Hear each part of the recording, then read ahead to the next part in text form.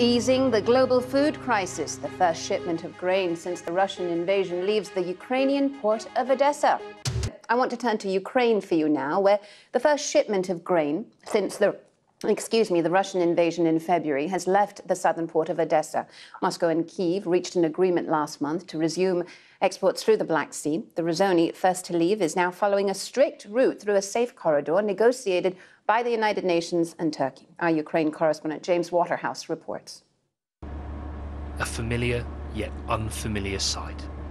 For the first time in a long time, a major artery is unblocked. And a ship, which could save millions from hunger, moving slowly into hostile waters.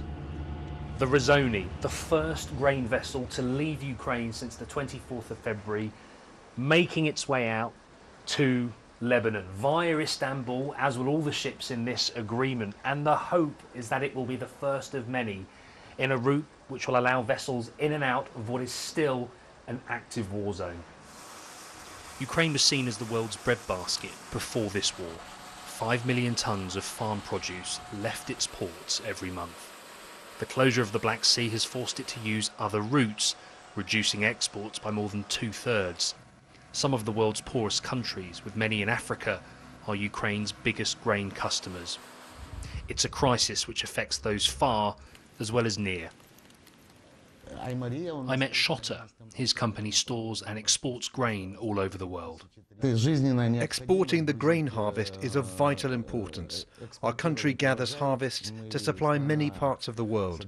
We must export for our farmers, for our country, and to feed the world. Despite little to no trust between Ukraine and Russia, necessity seems to be driving this deal. Not just for the government, but for the crews who've been out of work since February. We work in waters all over the world, Alexander tells me. We deal with pirates and other difficulties of the sea. Ukrainian sailors are not frightened by mines or other challenges. And this route is heavily mined, and there is the risk of Russian interference a point I put to the port authorities here. How safe do you think this route is? it's difficult to say. Uh, less than 50%, I think.